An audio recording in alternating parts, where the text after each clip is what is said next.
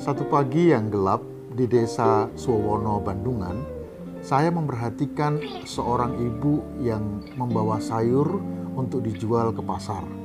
Saya melihat ia membawa sentir atau dian kecil.